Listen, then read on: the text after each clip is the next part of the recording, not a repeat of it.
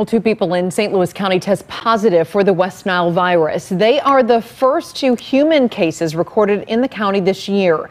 Both patients have been treated and released from the hospital. There have been 11 confirmed human West Nile cases in the county since 2011.